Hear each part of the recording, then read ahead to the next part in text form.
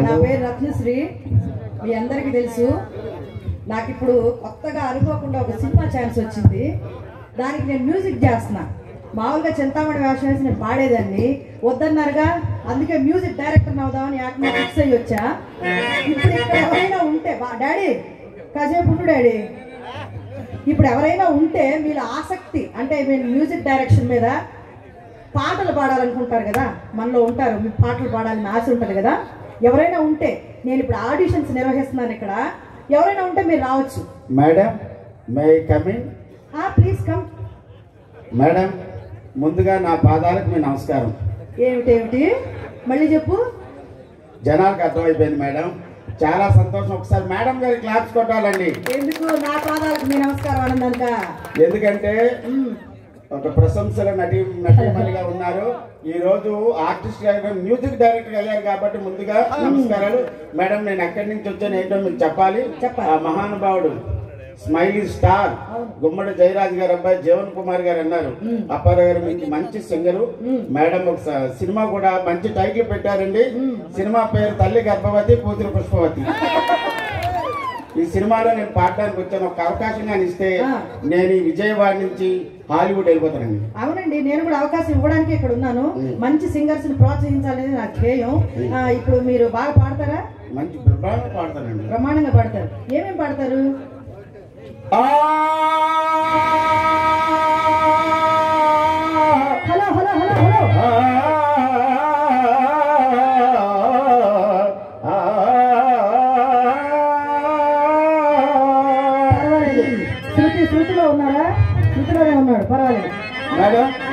ఒక మంచి పాట పాడమన్నా నాకు చాలా హ్యాపీగా ఉంది. అయితే ఘంటసాల మాస్టర్ గారు పాడిన పాట పాడాలా.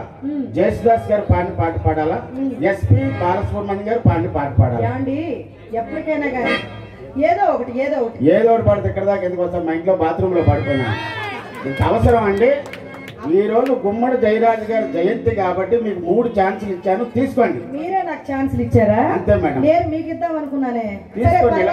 పర్వాలేదు నాకు ఘంటసాలి గారి పాటలు అంటే చాలా. ఒకసారి ఇవ్వాలండి అమర గాయకుడు గాన గంధర్వుడు కొన్ని గాన పాటలు పాడారు మహానుభావుడు. ఘంటసాలి గారి పాటలు నేను అన్ని పాటలే పాడతాను. అయితే. అన్న నందమూరి తారక రామారావు గారు పాడిన పాట పాడాలా?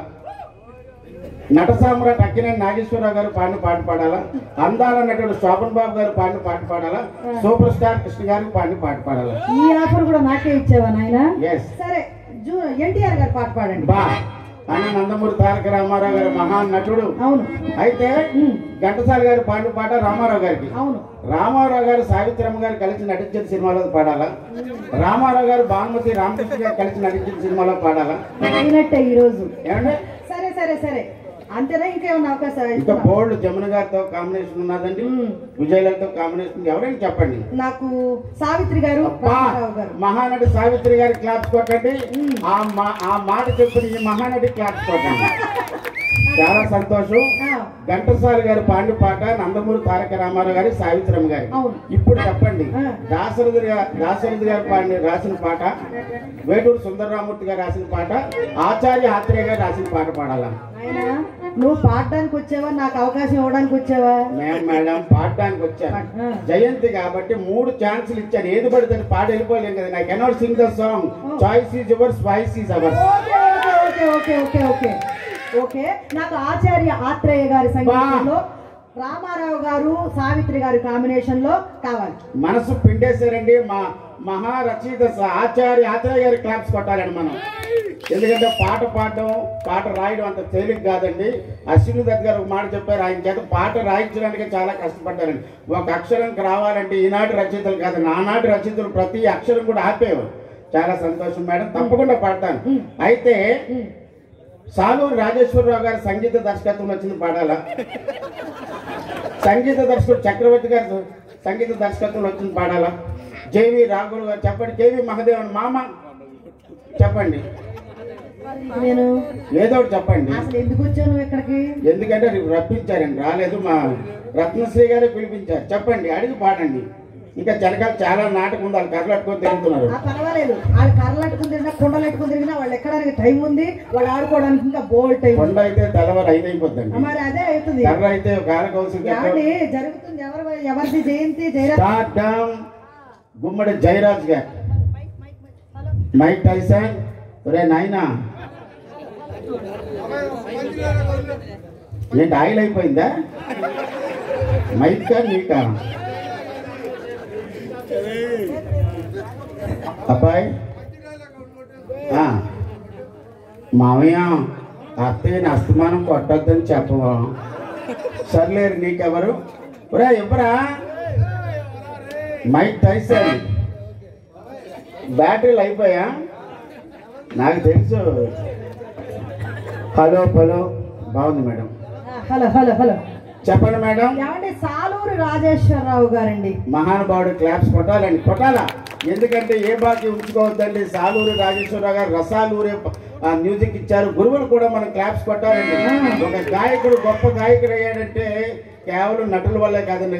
కింద కూర్చొని వాయిస్తున్నటువంటి వాయిద్య కళాకారుల వల్ల ఉంటుంది. Hats off. చెప్పండి ఏమన్నారు మేడం? సాలూరి రాజేశ్వరరావు గారు మహానటుడు ఎన్టీఆర్ గారు మహానటి సావిత్రి గారు ఆచార్య ఆత్రేయ గారు. ఇప్పుడు క్లాప్స్ కొట్టాలండి. నేను కొనుక్కున్నారు మెమరీకి ఇది నేను చెప్పాలి అని ఆవిడ చెప్పింది కాబట్టి. అయితే చెప్పండి. దాసరి నారాయణరావు గారి దర్శకత్వంలో వచ్చిన సినిమా రాఘవేంద్రరావు గారి డైరెక్షన్లో వచ్చిందా తాతినేని రామారావు గారి దర్శకత్వంలో వచ్చిందా బోయిన్ సుబ్బారావు గారి డైరెక్షన్ వచ్చిందా కేవీ రెడ్డి గారి కేవీ రెడ్డి గారు. కేవీ రెడ్డి గారి. ఇప్పుడు చెప్పండి మేడం రామానాయుడు గారి నిర్మాతగా తీసిన సినిమాలోదా అశ్విని దత్ గారి నిర్మాతగా తీసిన సినిమాలోదా అసలు నువ్వు పాడటానికి వచ్చావా? నా బుర్ర తినడానికి వచ్చావా నాయనా? పాడడానికే వచ్చాను మీరు సెలెక్ట్ చేసుకోలేకపోతున్నారు. పని చేయండి మేడం. ఇలా మీరు పాడించుకోలేదు నా చేత. ఆ. ఎలాగ ఇన్స్ట్రుమెంట్లు ఉన్నాయి కాబట్టి. సిచ్యువేషన్ ఇవ్వండి. సిచ్యువేషన్ గుడ్ అయితే బాబు నీ పేరేమన్నావు నాయన? శ్రీ రాపేటి అప్పారావు నాయుడు అండి. అప్పారావు నాయుడు గారు? ముందుగా మీరు అప్పు అని పిలవచ్చు. అప్పు? కానీ అడగొద్దు అప్పు. ఏ అప్పు? నీకు పప్పు పెడతాలే అప్పు రేపు. పప్పు అంటే నాకు ఇష్టం. ఒత్తు పప్పు అయితే లాభం లేదు. పప్పులో నెయ్యి వేయాలి. వేస్తాను, వేడి వేడి అన్నంలో. వినాయకుడు ప్రతిష్ట. వినాయక చవితి ఉత్సవాలు జరుగుతాయి కదా? బాగా వినండి. బాగా వినాలి మీరు. అందరూ కీన్ అబ్జర్వేషన్లో ఉండండి. నెక్స్ట్ సీన్ నుంచి ఎట్టాగు ఏడవాలి తప్పదు. హరిశ్చంద్ర. కాబట్టి ఈ పది నిమిషాలు బాగా నవ్వుకోండి. మళ్ళా దొరకమన్న దొరకరు. అప్పారావు గారు దొరకరు. రత్నశ్రీ అంతకంటే దొరకదు. ఆ ఏండి వినాయకుడిని ప్రతిష్ట. విగ్రహ ప్రతిష్ఠ జరుగుతుంది. దానికి ఒక సిచ్యువేషన్ ఇచ్చాం. పాడు. ఉన్నావా? అసలున్నావా?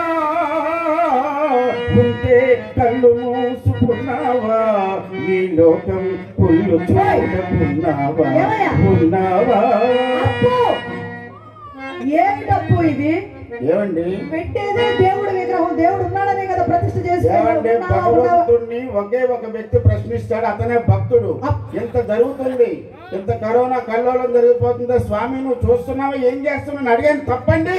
This is the right to talk what are you talking this is not the right way to talk Okay. అడిగానండి. మరి ఈ సిచ్యువేషన్ కాపాడు కాకపోతే ఏ పాట వస్తుంది గురుగారు చెప్పండి. ఏ పాట వస్తుంది ఏంటి నాకు తెలదేటి ఆ మాత్రం. గురుగారు నన్ను చూస్తున్నారా? ఆ చూస్తాడు అప్పు. అప్పు. రెండో సిచ్యువేషన్ ఈ సిచ్యువేషన్ బాగాలేదు ఓకే ఓకే. రెండో సిచ్యువేషన్ ఏమన్నా? ఇవ్వండి. ఇప్పుడు మన జబర్దస్త్ బాగా టాప్ షో కదా? అవునండి. కదా? Hundred percent. అందులో రష్మి మంచి యాంకర్ కదా? చాలా మంచి పిల్ల. ఆ రష్మికి. రైజింగ్ రాజుకు. పెళ్ళి. అదండి. తాంబూలాలు ఇచ్చాం తను చావండి అన్నట్టు. రేష్మికి రైజింగ్ రాజు గారికి పెళ్ళి. సిచ్యువేషన్ బాగుండాలి. నువ్వు మంచి పాట పాడాలి అప్పు మన టీ తాగడం అయిపోతే. ఏమైనా డోలకు మార్చుకుంటావా ఇక నుంచి ఇలా తాగొద్దండి. పైపులు ఏర్పాటు చేస్తారు. కుక్కల పైప్ పెట్టుకోవడం మీ పని మీద చేసుకోవడం తాగడం. ఆ, రేష్మికి రైజింగ్ రాజు గారి పెళ్ళి అయితే. అలా పేట్ల మీద కూర్చున్నారు అనుకోండి రిసెప్షన్లో. అప్పుడు ఏం పాట? పావురానికి పంజరానికి పెళ్ళి చేసే పాడు లోకం కాలరాత్రికి చందమామకి ముళ్ళు వేసే పాడు లోకం ఎరు బిందెల మూడేనా మూడు బిందెల నీళ్ళైనా ఓ అప్పు పావురానికి అప్, అప్. ఆ ఆరు నెలలు అయిందండి ఆ, వాళ్ళిద్దరికి శుభవారం పెళ్ళి జరుగుతుంటే ఈ- పాట ఏమన్నా బాగుంది? మీకు బుర్ర ఉందండి రత్నశ్రీ గారు? అదే రైతుకి రాజుకేమో అరవై ఏళ్ళు ఉంటాయి ఆ పిల్లకేమో ఇరవై ఏళ్ళు ఉంటాయి. ఈ పాట కాకపోతే ఏ పాట అండి? బస్సులుగా కూడా పాడతాడు. అవునా కాదా? సిచ్యువేషన్ అంటే ఇలాగే ఉంటుంది అప్పారవుతాం ఇంకో సిచ్యువేషన్ ఇవ్వండి మా తాతగారు పోయారండి. మంచిది. తాతగారు పోయారు. ఆయన లేచి కూర్చోవాలి. తాతగారు పోయారు. పోయారు. నువ్వు వాడే పాటతో ఆయన లేచి కూర్చోవాలి. బ్రహ్మాండంగా నిలబడుతుంది మానవ ప్రయత్నం మనం చేద్దాం గురువు గారు లే లే లే లే లే లే నా తాత. ఒరే నా తాత. నువ్వు లేవనంటావా? నన్ను లేపనంటావా? నువ్వు లేవనంటావా? నన్ను లేపనంటావా?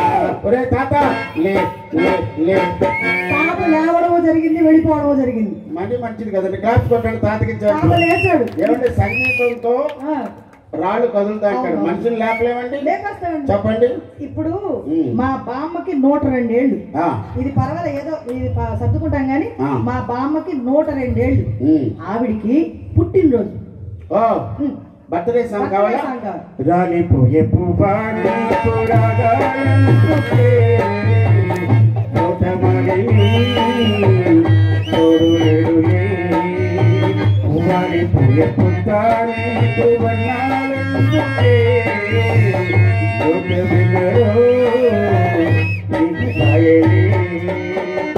ఏమండి నూట రెండేళ్ళు అయిందంటే ఆ పువ్వు ఆడిపోతే ఇంకా వికసిస్తుందండి అంతే.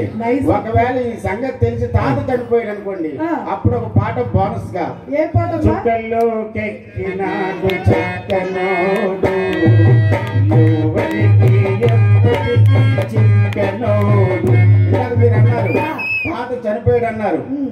బాగా లేపాం ఆ. ఒకవేళ ఆ తాత చనిపోతే జనవారం జరుగుతుంది. జనవారం. జనవారం జరిగితే ఆ పాట ఏంటని మీరు అడగని చెప్పేస్తారు అవును ఏం పాట పాడతావు భలే మంచి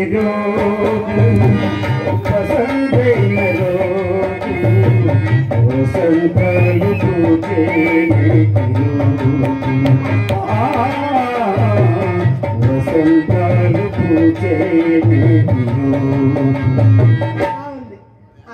ఆ, రోజు. పాట పాడతావు అనమాట అంతేనండి. నీ క్రియేటివిటీకి చాలా మరొకసారి నా పాదాలకు మీ నమస్కారం. నీకు నమస్కారాలు అయినా నా పాదాలకు మీ నమస్కారాలు కాదు. మీ పాదాలకు నా నమస్కారం అనాలి. నేను మ్యూజిక్ డైరెక్టర్ని మేడం. పాడడానికి వచ్చినోడివి. అంతే. అంతేనా? ఒకసారి మేడంకి క్లాప్స్ కొట్టండి. మేడం నిజానికి ఈరోజు ఈ స్టేజ్ మీద గుమ్మడి జయరాజ్ గారి జయంతి సందర్భంగా ఆ కార్యక్రమానికి మేడం ఫస్ట్ ఫోన్ చేసింది నాకు. ఇలా ఉంది అప్పారావు గారి జయంతి సందర్భంగా మీరు రావాలి అని చెప్పారు. మేడం గారు తప్పకుండా వస్తాను. ఆ మహానుభా ఆ మహానుభావుడి తాలూకా ఎన్నో వీడియోలు నేను యూట్యూబ్లో చూసే ఈ మధ్య లాక్డౌన్లో మహానటులు అందరివి చూశాను మనం చాలా నేర్చుకోవాల్సినవి చాలా ఉన్నాయి ఈ సందర్భంగా. మేడం ఇక్కడ ఇక్కడికే కాదు ఏలూరు దగ్గర గాలాయిగూడెంలో అచ్చమ్మ పేరంటాల దగ్గర కూడా మేడం గారి కాంబినేషన్లోనే చేస్తానండి.